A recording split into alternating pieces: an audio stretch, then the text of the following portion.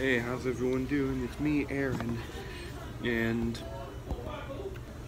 so I work here at McDonald's in Jacksonville, Florida, and I've never eaten a McGriddle before, so I'm going to make a video showing me doing one sausage, egg, and cheese McGriddle. So let's get down to it. And let's try it. I don't know how to flip it around. Anyway. Oh, my sandwich just fell apart. Okay. So, this is what sandwich looks like.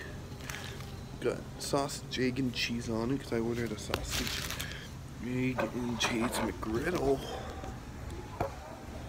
So, it's, you know, because it's McGriddle, I guess it's supposed to be like a pancake sandwich, so.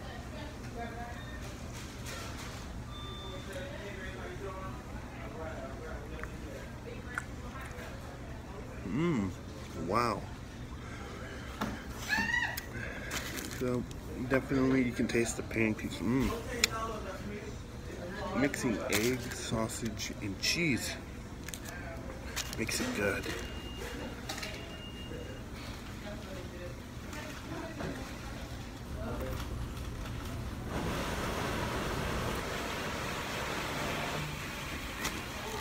Now, would I order this over, let's say, a McMuffin? No way. This is a nice little breakfast treat. Mm.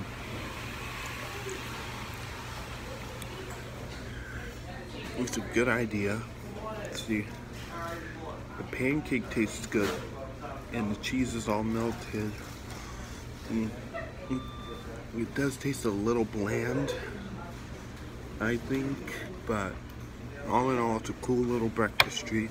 This wasn't much of a review, but how really could it be? How much can you review a pancake sandwich? you know? Thank you guys. I love you guys. And praise God.